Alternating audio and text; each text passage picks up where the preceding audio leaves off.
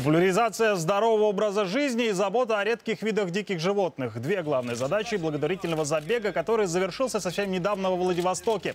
Помимо местных жителей на старт вышли участники Восточного экономического форума, а также знаменитые спортсмены.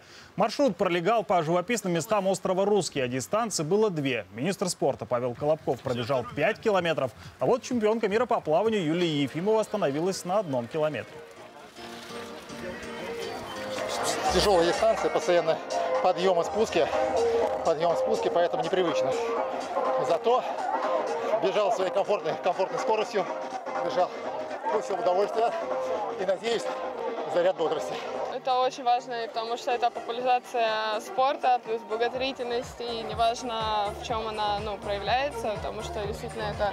э, Плюс еще весело, хорошая атмосфера и настроение.